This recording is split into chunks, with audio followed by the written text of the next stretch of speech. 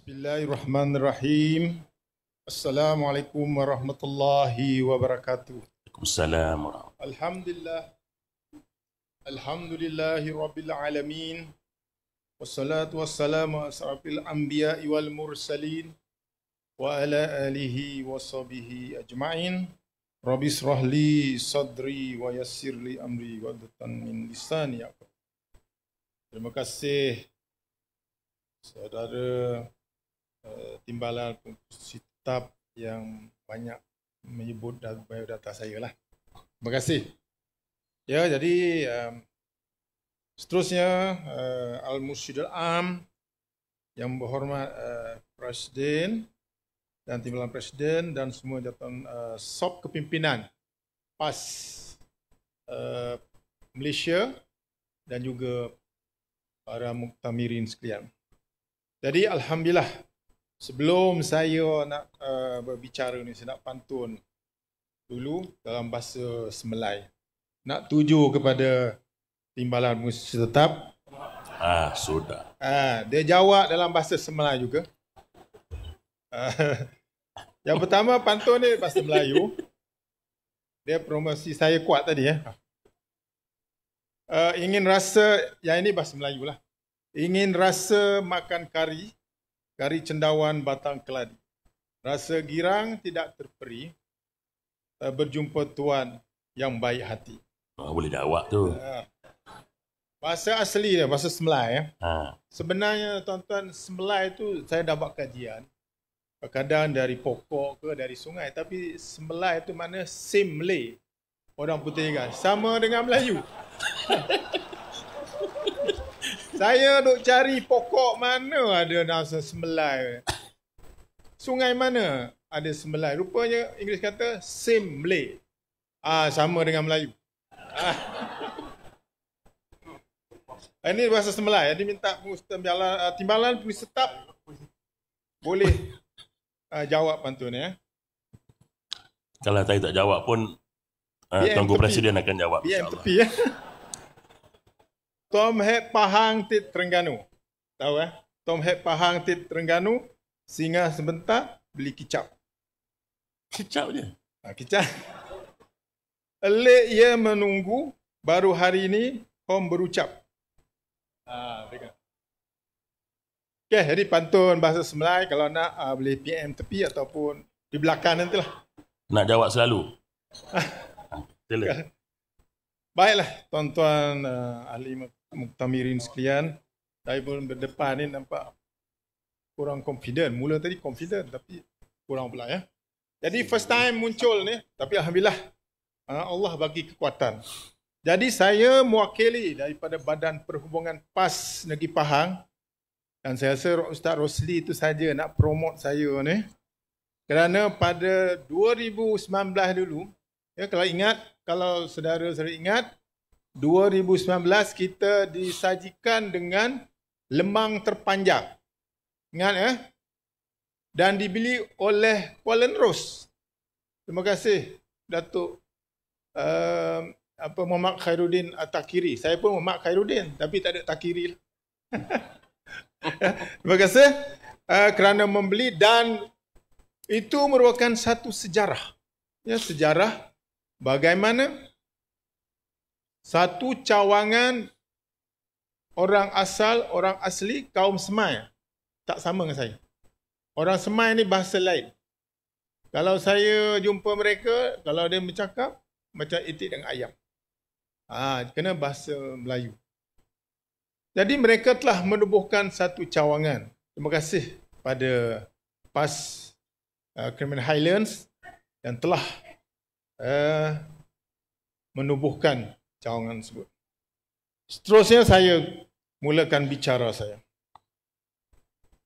Jadi Badan Perumahan PAS Negeri Pahang secara tuntas menyokong ucapan dasar Presiden dengan tema Islam menyatukan ummah. Jadi saya bagi pihak wakil kepada PAS Perhubungan Negeri Pahang, yang pertama yang hujah saya, kalau kita lihat dalam buku ucapan dasar Presiden tadi, dari muka surat 22 sehingga kepada surat 26 menyebut tentang bidang itu bidang kebajikan. Ya, tuan-tuan, kebajikan ni seperti mana? Itu kebajikan itu negara berkebajikan membawa berkat. Jadi kalau kita lihat pada pada bagaimana pada mulanya kebajikan ini merupakan satu tarikan yang utama kepada rakyat. Ya, tarikan yang utama. Tetapi kita tidak mahu kebajikan ini seperti yang difahamkan oleh negara barat kita nak supaya PAS ataupun yang hadir ni bila balik ke kawasan masing-masing kita bagi dia pancing bukan bagi ikan.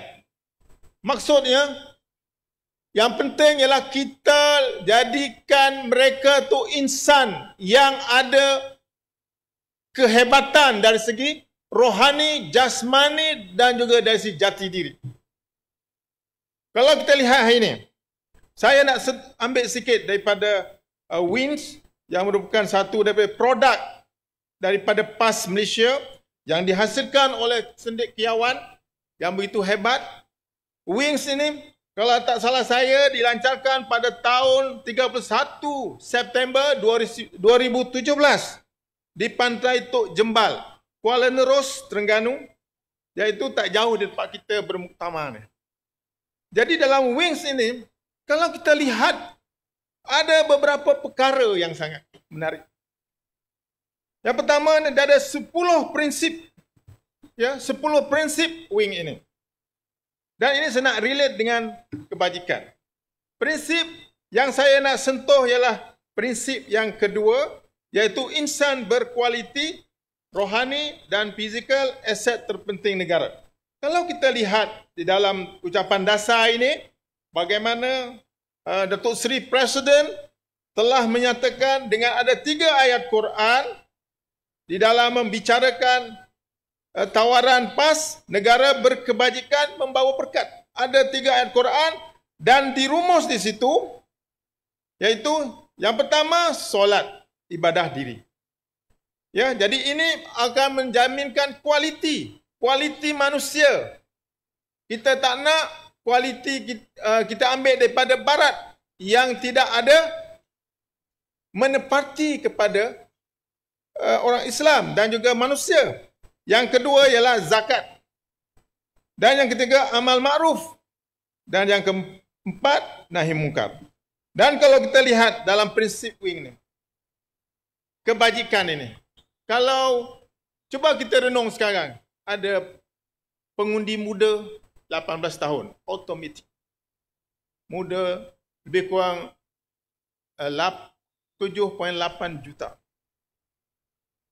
jadi pengundi muda yang disebut tidak cakna dengan politik tidak ambil tahu politik yang mereka ini hanyalah tahu main handphone dan juga benda yang meronokkan jadi bagaimana kita apabila mereka jadi pe Ngundi bagaimana kita nak tackle? Bagaimana kita nak jadikan mereka ni pengundi pada padi kita? Dan pertama mereka akan kata akan kata apa yang kami dapat.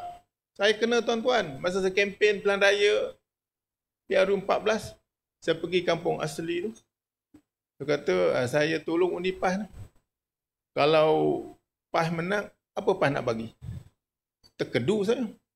Kalau PAS menang, apa nak bagi? Lepas tu pergi satu kampung, Tok Batin ajar saya. Gini cikgu. Kalau dia tanya lagi, cakap. Parti ketika itu saya lawan PH, BN. Ha, PH dan BN.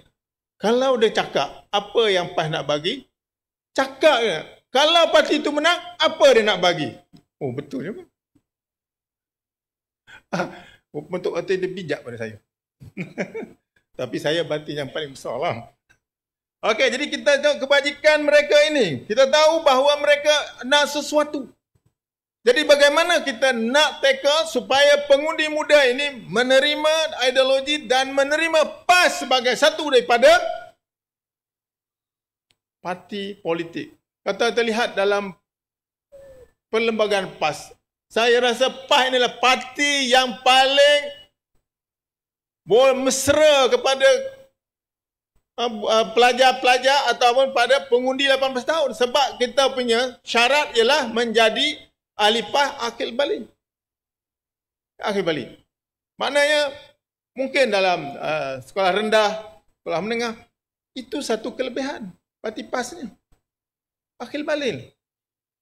Jadi kerana itulah saya berpendapat cadangan kepada pihak pimpinan. Mungkin saya punya tajuk ni agak lari lah, tapi tak apalah. Yang pertama ialah kita mesti sediakan perkasakan kurikulum di pusat-pusat latihan supaya dia selari dengan kemahuan kita. Kita kan sekarang kerajaan.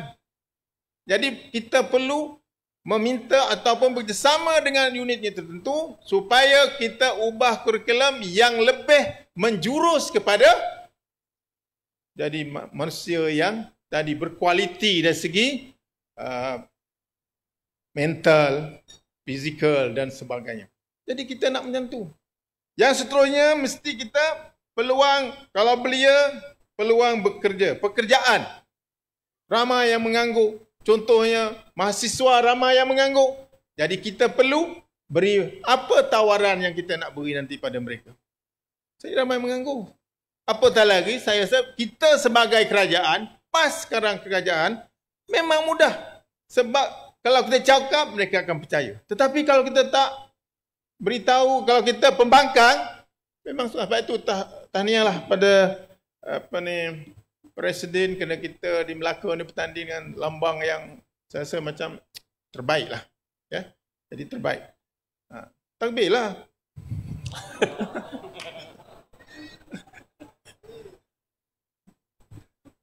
yang seterusnya ialah kembalikan sistem pembiayaan pembelajaran tanpa faedah.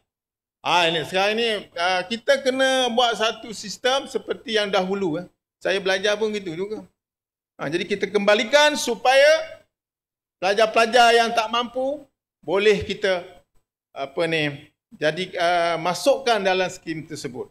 Dan seterusnya dia memilihkan harta seperti rumah mampu milik dan mampu bayar, bukan seperti sekarang.